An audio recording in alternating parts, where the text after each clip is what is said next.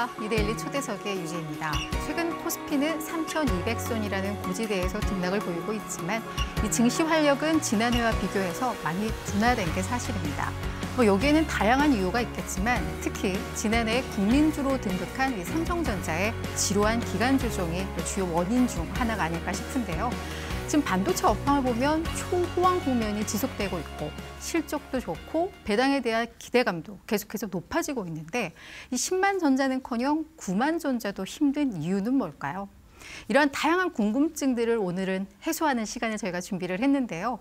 이 반도체 찐 전문가로 통하는 분입니다. 노근창 현대차증권의 리서치 센터장님 모시고 이야기 나눠보겠습니다. 센터장님 안녕하세요. 네, 안녕하세요.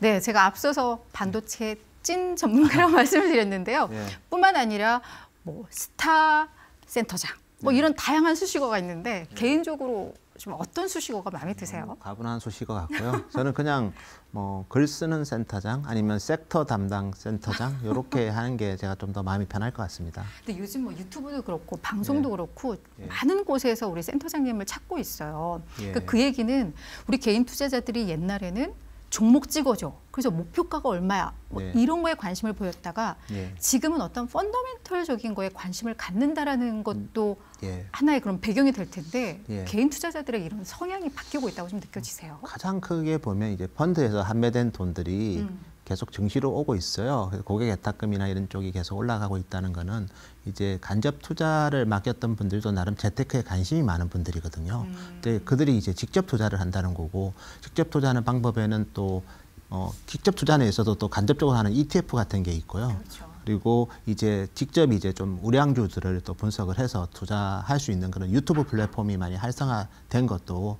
가장 큰 배경인 것 같고 또 증권사들도 리서치 센터가 이제 retail 고객들한테 좀 더 이제 어, 알기 쉬운 리서치를 제공하기 위해서 유튜브 방송을 많이 하고 있거든요. 뭐 이런 여러 가지 이유가 겹쳐서 뭐 지금의 개인 투자자는 정말 뭐 투기적인 것보다는 안정적인 배당 수익과 그리고 시장 금리를 좀 더 어, 초과할 수 있는 그런 수익을 취하는 시장으로 주식시장을 접근하는 것 같습니다. 음, 앞으로 우리 센터장님은 계속해서 더 바빠질 일만 남았다고 뭐, 좀 보여지네요. 뭐 열심히 노력하고 해야 되겠죠. 예. 네, 이제 좀 저희가 증시 얘기로 좀 돌아와서요. 예. 코스피가 정말 이 기간 조정이 너무 길어지고 있거든요. 예. 그래서 일부에서는 이게 더 추가 상승을 위한 정말 건전한 조정이다라고 보는가 하면 예. 유동성 장세의 한계가 이제 온 거야. 예. 여기까지야 라고 보는 시각도 있을 것 같은데 센터장님은 어떻게 보세요?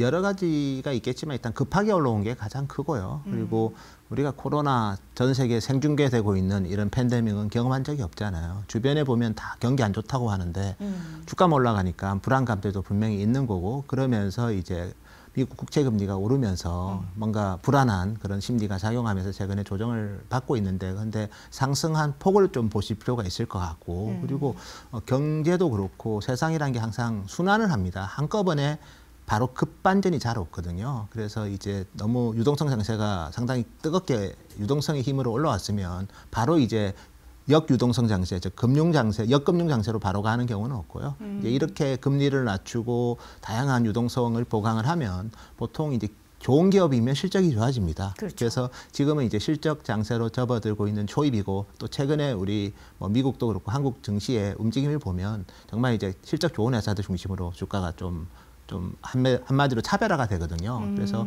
이제 금융 장세에서 본격적인 실적 장세로 진입하는 과정에서 생기는 어, 어떻게 보면 어, 좀 기간 조정이라고 보셔야 되고 지금은 이제 실적 장세 초입으로 저는 접근했다. 그렇게 저희는 평가하고 있습니다. 그러니까 결국 이제 증시의 색깔이 바뀐다라는 거기 때문에 여기에서 사실은 준비를 잘해야지 예. 다음 장세에서 대응이 가능할 것이다라는 예. 좀 생각이 드는 국면이네요. 예, 그래서 사실 금리가 이제 기준금리가 안 오른다면 기준금리가 오르면 좀 근본적으로 시장의 색깔이 음. 그렇죠. 바뀌는 거예요. 그때부터는 이제 역금융 장세라고 해서 실적은 좋아져도 주가가 빠지는 국면이거든요. 음. 근데 지금은 기준금리를 올릴 스탠스를 보일 그런 국가가 없습니다. 그렇죠. 그래서 지금은 일단 경제가 좀 좋아지는 걸 좀 더 확인하는 단계이기 때문에 음. 시장 금리는 올라도 이제 기업들 실적도 좋아지고 음. 시장 금리는 오르지만 주가는 여전히 주가 상승을 할 수 있는 그런 구간으로 보셔야 되고요. 음. 오히려 작년 같은 경우가 이제 유동성으로 모든 걸 해소하기 때문에 실적도 안 보고 주가가 오르는 네네. 어떻게 보면 가파르게 오르는 국면이라면 지금은 이제 어, 눈높이도 올라갔기 때문에 이제 실적을 좀 점검하는 구간으로 왔다. 다만 실적이 좋은 기업은 또 시가총액 상위에 있을 거기 때문에 음. 지수가 하락하기는 쉽지 않은 국면이라고 보셔야 될 것 같습니다. 그 지금 센터장님께서 얘기하시면서 금리 얘기를 또 계속 하셨는데 사실 이 조정의 빌미가 됐던 변 수가 바로 금리입니다. 예. 근데 여전히 금리는 그런 상승 국면이 지속되고 있는데 예. 뭐 국내뿐만 아니라 글로벌 증시에서 금리에 대한 민감도는 조금 약해지는 것 같거든요. 이에 대해서는 어떻게 보세요? 네. 처음에 이제 미국 국채 10년물이 오를 때는 뭐 되게 놀랬지요. 뭐 이런 추세면 거의 2%까지 갈 것처럼 보였는데 근데 사실 금리가 오르는 이유가 다 한 가지 이유 때문에 오르지는 않거든요. 첫째가 미국이 국채 발행을 많이 해서 금리가 오르는 이유가 있을 거고 네. 두 번째는 실물 경제가 좋아져서 금리가 오를 수도 있을 거고 세 번째는 통화량을 많이 어쨌든 공급했기 때문에 인플레이션이 발생해서 금리가 오를 수. 있는데 어, 지금은 일단은 그 실물 경기 좋아지는 거 부분에 대해서 좀 더 초점을 많이 맞추는 것 같아요. 그렇기 음. 때문에 다만 그렇다고 하더라도 기준금리 올릴 만한 실물 경기 회복은 아니거든요. 집단 면역이 본격화되기 전까지는 기준금리를 올리기는 힘든 국면이기 때문에 여전히 좋은 환경이고 그래서 그 부분에 대해서 저희는 계속 실적 장세로 갈 때 생기는 금리 상승이라고 얘기를 했지만 음. 시장에서는 이제 워낙 작년에 많이 올랐기 때문에 이거를 이제 차익 실현을 이- 이 정도에서 할까 음, 그런 고민을 하다가 이제 아, 알고 보니까 뭐 그, 그렇게까지 급하게 차익 실현할 때는 아니라고 생각하면서 이제 시장 금리 오르는 거에 대해서 이제 내성이 생겨가는 과정으로 저는 보고 있습니다. 예. 그러면 이제 앞으로 우리 증시의 어떤 향방을 결정할 주요 변수라던가 이슈는 그럼 어떤 걸로 좀 보고 계세요? 가장 큰 거는 역시 이제 시가총액 상위 기업들이 어떤 업종인지를 봐야 되고요. 예, 예. 뭐 지금 보시면 뭐 반도체 그리고 뭐 바이오 2차 전지 그리고 뭐 자동차 쭉 그런 업종들이 있잖아요. 최근에 가장 큰 거는 이제 어, 어떤 국가 지역주의가 좀 많이 생기고 있어요. 그래서 어디에 투자해라 아니면 또 여기에 또 자연재해가 되게 많아서 뭐 반도체 공급난도 있거든요. 이런 어떻게 보면 fundamental 이외의 그런 변수들에 대해서 좀 봐야 될 것 같고요. 국가의 지역주의와 어, 그리고 자연재해가 global supply chain에 영향을 줄 수 있거든요. 근데 그게 예. 다 우리나라 시가총액 상위 업종과 연관이 된다는 거죠. 수출 업종이랑. 그래서 수출 업종의 실적이 consensus를 좀 하회하게 되면 예, 예. 주가가 좀 조정을 받을 수가 있거든요. 네네. 예, 이런 부분들을 좀 봐야 될 것 같고요. 두 번째는 역시 뭐 너무 경제가 좋아지면 음. 기준금리 올리는 시점이 빨라질 수 있거든요. 그러니까 테이퍼링 시점에 대해서는 뭐 늘 점검을 해야 될 것 같아요. 그 시기가 생각보다 빨라질 수도 있다는 얘기도 아직은 좀 아닌데 하잖아요. 너무 예. 좋아져 버리면 그리고 전 세계가 집단 면역이 되면 당연히 빨라지겠지만 아직은 뭐 백신 뭐 여러 가지 뭐 음. 접종 비율을 본다면 아직 그런 단계는 아니겠지만 그래도 변수로서 고려한다면 저는 이제 뭐 그런 어 기준금리에 대한 그 연준의 stance 변화 이런 부분은 뭐 중요한 변수가 음. 꾸준히 되겠죠. 보면서 전략을 좀 세워야지 이- 예. 그냥 막무가내로 지금 시장은 뭐 실적이니까 실적만 뭐 이러다가는 뭐 우리가 또, 음. smart money가 많이 들어왔다고 네, 했으니까 뭐 위험 자산을 선호하는 구간에는 아주 적극적으로 위험 자산 비중을 높여야 되는 거고요. 어. 반면에 이제 안전 자산으로 가야 될 때는 좀 빨리 좀 포트폴리오를 변경해야 된다고 봐요. 금리 확정 금리형 상품으로 가야 되는 거고. 근데 음. 그 시기는 아직 좀 더 남았다고 보는 거고 그것도 좀 애매하고 지수가 상단에서 박스권이다. 그러면 이제 ELS 같은 중위험 상품으로 음, 가야 되는 거죠. 그런 부분에 대한 전략을 미리 달 이제 어떻게 잘 인지해 놓고 각각의 지표 변화에 대해를 보면서 음. 그런 전체적인 전략을 뭐 바꾸는 거 이런 거가 중요할 것 같습니다. 예. 근데 사실 지난해에는 이 비대면 관련주들이 시장을 많이 주도를 했었는데 예. 이제 보- 이 백신 공급이 어느 정도 좀 확산이 되면서 네. 이제는 이 주도주의 색깔도 변할 수 있다, 성격도 변할 수 있다라는 말이 나와요. 이에 대해서는 좀 어떻게 저는 생각하세요? 뭐 주도주는 쉽게 변하지는 않을 거예요. 근데 주도주가 많이 오르면 순환매가 돌겠죠. 근데 순환매 관점에서 contact 산업 대표적으로 뭐 집단 면역이 좀 완료가 되면 뭐 여행이라던가. 뭐 여행 업종이든 호텔 업종이든 레저 업종이든 뭐 내년부터 좋아질 거라 해서 주가는 갈 수 있는 거거든요.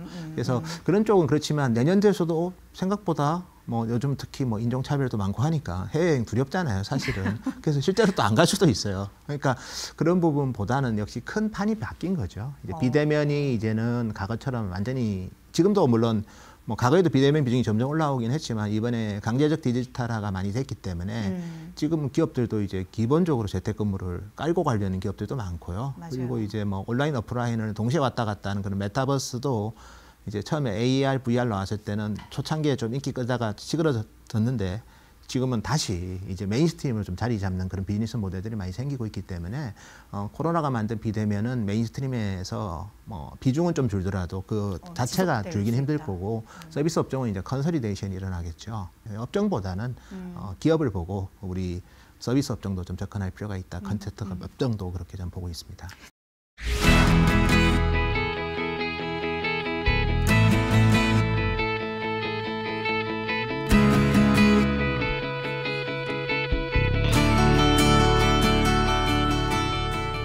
개인적으로 우리 센터장님께서 요즘 관심을 갖고 보시는 뭐 섹터라던가 종목군이 혹시 그럼 저는 이제 있을까요? 우리나라의 그 코스피가 미국의 나스닥처럼 많이 된 것 같고요. 특히 우리나라는 뭐 수출 기업들이 예. 보면 뭐 IT, 바이오 여기에 뭐 수출은 아니지만 또 내수 쪽에서 또 열심히 잘하고 있는 언택트 그리고 인터넷 게임 업종 음, 그리고 자동차까지도 어떻게 보면 첨단 산업을 많이 담고 있기 때문에 예. 저는 여전히 한국을 투자할 때 음. 아직 한국이 이머징 시장인데 네네. 초과 성장하려고 초과 이익 내려고 투자하는데 음. 뭐 내수에서 좀 잘하는 회사보다는 가치주보다는 저는 성장주가 여전히 한국을 혹시 외국인들이 본다면 그런 관점에서 그런 기업을 고르려고 한국을 어- 어슬렁거리지 그냥 가치주 살라고 한국 시장을 어슬렁거릴 것 같지는 않아요. 그래서 여전히 저는 어, 우리가 일반적으로 알고 있는 반도체 BBI제 업종을 저는 좋게 보고 있습니다.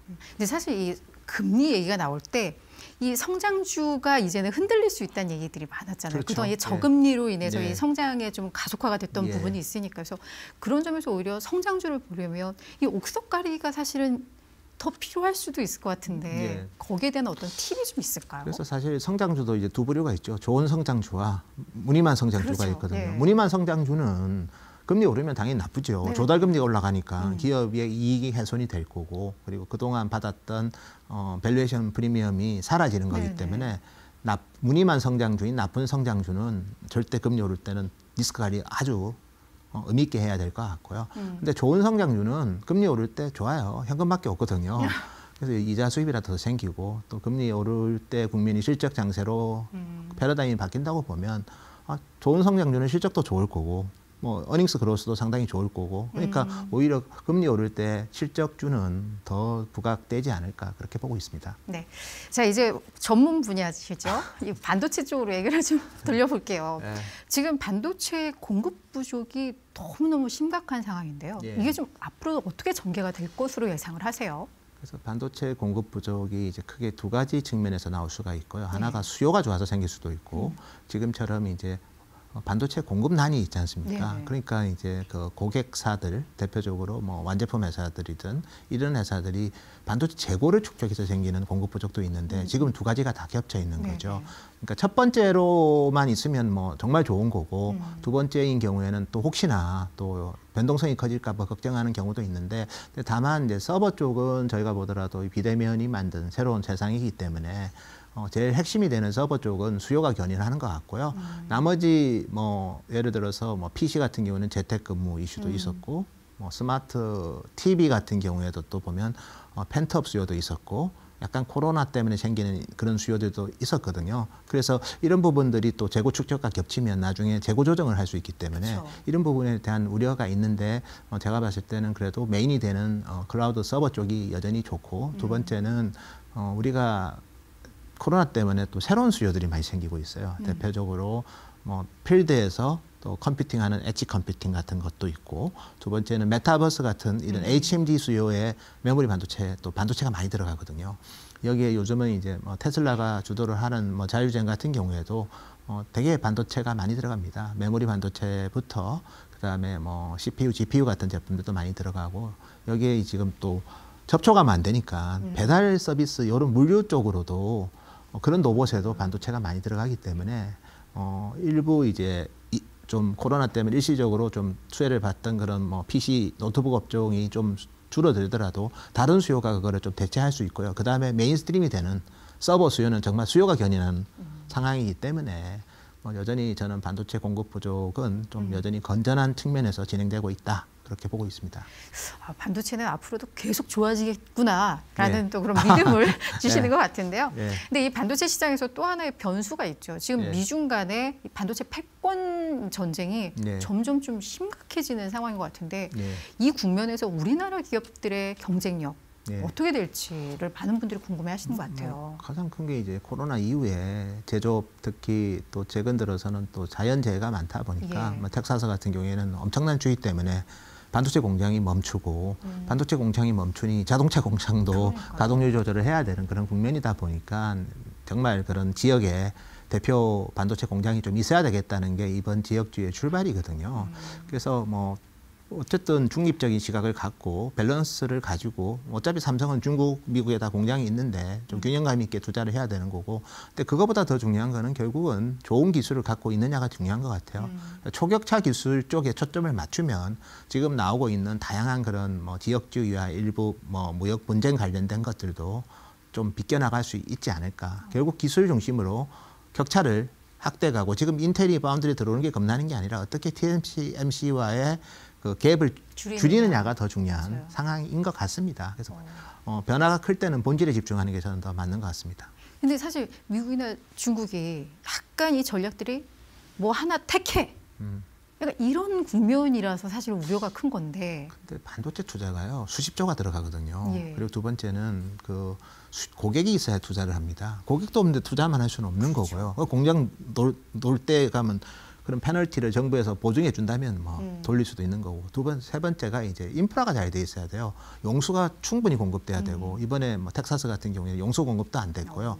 그 다음에 뭐 전력 공급도 뭐 상당히 안정적으로 와야 되거든요. 음. 그런 조건들에 대해서 너희들이 국가가 책임을 진다고 하는 국가는 많지는 않을 거예요. 음. 그래서 너무 크게 우려하는 것보다는 천문학적인 투자와 많은 인프라가 필요하기 때문에 오히려 유인책이 있을 때 세제 혜택 이런 게 있을 때는 그냥 뭐 그걸 즐기면 되죠. 아, 어. 어차피 스케줄이 있었던 투자였다고 하면 그거를 최대한 많이 따내서 음, 음. 하시면 될 것 같습니다.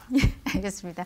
자 이제 삼성전자 이야기를 해야 될 텐데 네. 지난 1분기 실적 발표 전에 네. 우리 센터장님께서 10조 부르셨잖아요. 아, 예, 제가 뭐 좀 본격적으로 불렀네요. 그 10조 때문에 삼성전자에 대한 눈높이가 확 높아졌다가 네. 이 9조 3천억으로 하니까 오히려 이게 약간의 실망감이 좀된 것 같은데 좀 뭐. 이게 어디에서 이런 뭐 차이가 가장 났던 큰 거는 거예요? 이제 저는 이제 그렇죠. 이제 매출 자체가 음. 지난 3분기가 67조의 영업이익이 12.3조가 나왔어요. 지난 네네. 3분기에. 근데 1분기에 제가 아무리 점검해봐도 65조 정도는 나오겠더라고요.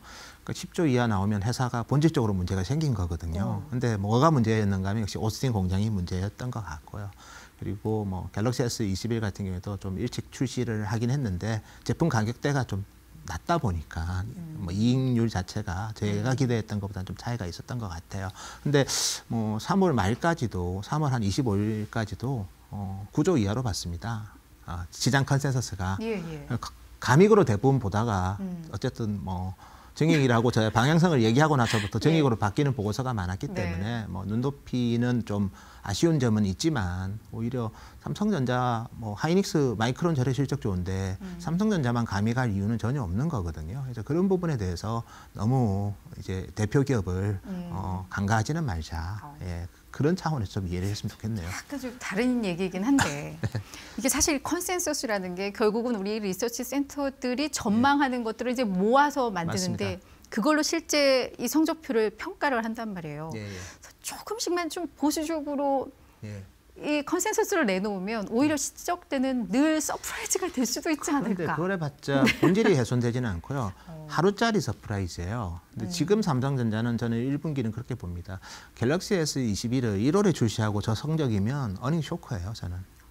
아니 3월에 출시할까 1월에 내놓고도 그 정도 성적표라면 물론 오스틴이라는 특수한 경우가 있기는 음. 했지만 그래서 그러면 이게 정말 무선사업부가 뭔가 문제가 있는 거 아닌가 저도 고민을 했는데 음. 뭐 경영 진단 얘기가 또 나오고 있잖아요 지금은 그래서 사실은 아마 서프라이즈가 났더라도 효과는 좀 제한적이었을 것 같고 어, 지금은 결국은 이제 하반기에 이제 모든 사업부가 좋아지는 시점이 곧 다가오기 때문에 음. 그쪽에 초점을 맞추는 게 맞을 것 같습니다. 앞으로 삼성전자는 어떻게 전망하세요? 뭐 2분기는 뭐 스마트폰이 이제 뭐 오스틴 공장 이슈도 있고 S21을 1월에 출시했으니까 2분기는 나빠야 되겠죠. 당연히 음, 음. 조삼모사거든요. 네, 네. 그래서 2분기는 스마트폰이 안 좋아지지만 메모리 가격이 오르니까 뭐 1분기보다는 좋아지는데 음. 문제는 이제 하이닉스 마이크론 좋아지는 거랑은 좀 빈약하겠죠. 음. 스마트폰이 안 좋으니까. 그렇죠. 근데 이제 언제쯤 되면 삼성전자가 이제 모든 날개가 다 좋아질까? 음. 그러면 이제 오스틴과 관련된 파운드리는 이제 3분기부터는 그 불확실성은 사라진다고 보셔야 예, 되고요. 예. 그리고 디스플레이 같은 경우에는 어, 애플이 어쨌든 신제품이 나오는 시점이 또 3분기니까 또 실적이 많이 좋아지겠죠. 음. 메모리 반도체는 2분기에 일단은 뭐 PC 서버 디램이 20% 가격이 오르는데요.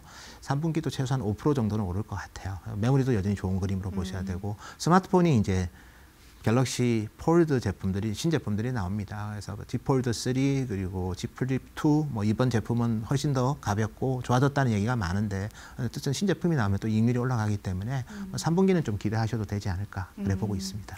그러면 이 8만 전자를 깨는 건 한 3분기 정도로 주가라는 거는 뭐 수급도 있고 음, 그다음에 다양한 다양한 좀뭐 여러 가지. 이슈가 있기 때문에 또 미리 또 반영해서 갈 수도 있는 거고 그래서 뭐 너무 그렇게 뭐 섣불리 주가를 예측하기는 힘들겠지만 중장기적으로는 긍정적. 예, 펀더멘탈은 최소한 3분기에는 다 좋아지는 그림이 있는데 그리고 분기 배당을 계속 하는 회사잖아요. 그리고 올해 돈 많이 벌면 더 주겠다고 하는데 그러니까, 예. 너무 지금 좀 힘들 수도 있겠지만 조금 여유를 가지시면 마음이 편해지실 겁니다. 네.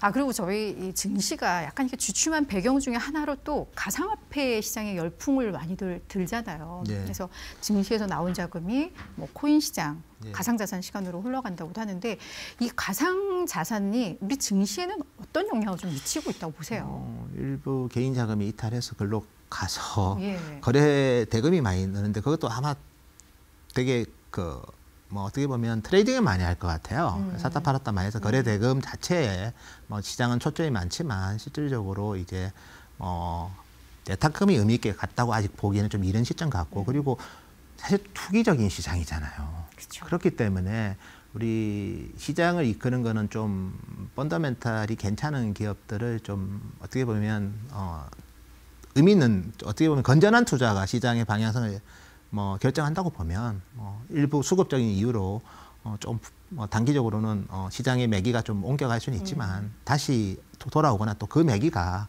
건전한 시장 방향성에 저는 그렇게 큰 의미 음, 있게 영향을 주지는 않는다고 보고 있습니다. 네. 이제 마지막인데요. 우리 시청자님들께 예. 또한 투자자들에게 좀 조언의 한 말씀을 좀 해주신다면. 뭐 일단 저희는 항상 하는 얘기가 똑같습니다. 어, 가능한 이제 레버리지를 일으키지 말고 빚내서 아- 안 하고 음. 좋은 기업을 대표 기업을 어, 장기 분할 투자를 한다면 반드시 또 우리나라 지금 대표 기업들이 또 분명히 나스닥 같은 기업들이 많거든요. 그래서 나스닥과 성격이 유사한 기업들이 많기 때문에 그런 기업들을 뭐 예, 진정한 주주로서 참여를 하신다면 단순하게 어, 투자로서가 아니라 주주로서 참여한다는 그런 마음으로 접근한다면 좋은 기회를 줄 기업들이 많을 것 같다. 저는 그렇게 보고 있습니다. 네. 그러니까 정말 재테크의 수단으로 예. 중장기 관점의 투자 전략으로 우리 주식 시장에 접근을 한다면 예. 좋을 것 같다. 이험 자산을. 예 맞습니다. 이험 자산을 배제하기에는 금리가 너무 낮아요. 네, 네. 배당 수익률만 가지고도 금리 이기는 좋은 그렇죠. 어, 주식들이 네. 많거든요. 그래서 어, 제로 금리 시대에 이쪽을 예면하는 것도 역차별을 받을 수 있기 때문에 충분히 시장 금리를 이길 수 있는 그런 좋은 기업들 많다는 거 음. 그거는 반드시 인지하셔야 될 것 같습니다. 제가 오늘 이렇게 인터뷰를 하면서 아 우리 센터장님이 요즘 왜 이렇게 인기가 있나를 느낀 게 센터장님들이 사실 말씀을 참 어렵게 하시는 분들이 많은데 예. 정말 쉽게 그런가요? 설명을 잘 해주셨던 것 같아요. 좋게 봐주셔서 감사합니다. 그래서 우리 시청자님들 투자 판단에 많은 도움이 됐을 것 예. 같습니다. 오늘 함께 해 주셔서 고맙습니다. 감사합니다.